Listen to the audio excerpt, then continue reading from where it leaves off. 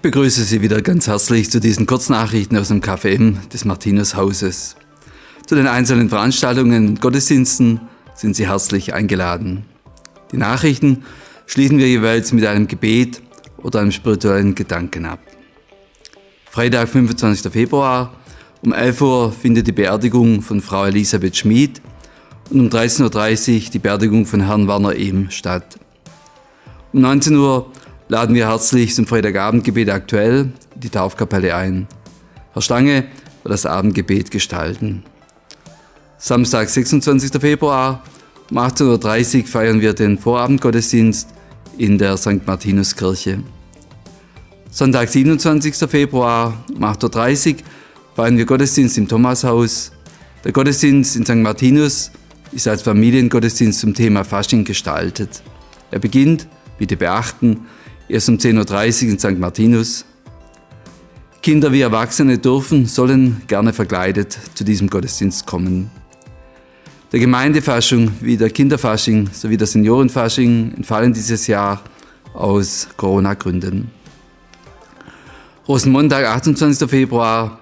Trotz des Rosenmontages trifft sich der Öffentlichkeitsausschuss um 18 Uhr im Johannissaal. Faschingsdienstag, 1. März, der Abendgottesdienst im Thomashaus entfällt.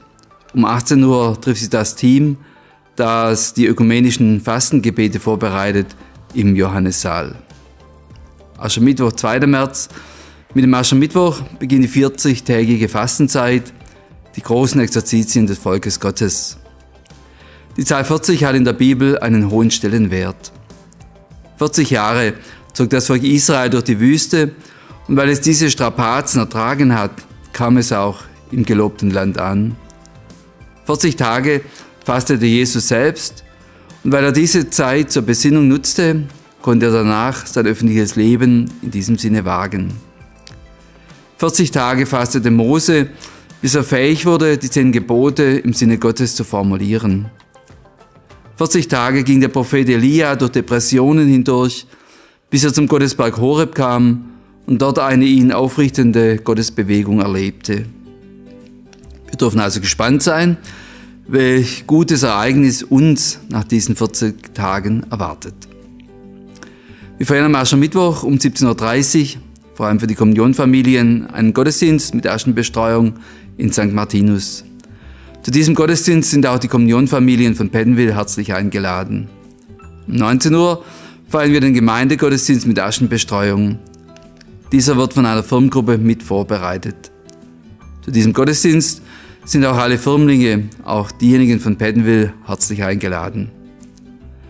Donnerstag, 3. März um 10.30 Uhr findet im Avoheim eine Wortgottesfeier statt. Freitag, 4. März, wegen der Ferien entfällt diese Woche das Freitagabendgebet.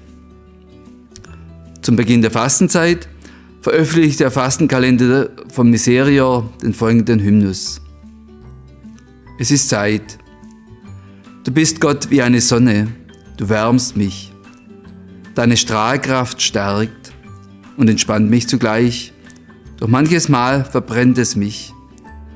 Der Wunsch dir zu gefallen, der Versuch, dir alles recht zu tun. Ich bin nur ein Mensch und nicht perfekt. Doch wenn du nicht da bist, wenn ich dich einmal nicht spüre, dann wird mir kalt, denn ich weiß, ohne Sonne kein Leben. Es ist Zeit. Ich will mich neu ausrichten auf dich, will mir Zeit nehmen für dich, werde denken an dich, nachdenken über dich und über mich. Es ist Zeit, Fastenzeit. Ich wünsche Ihnen einen guten Beginn der Fastenzeit.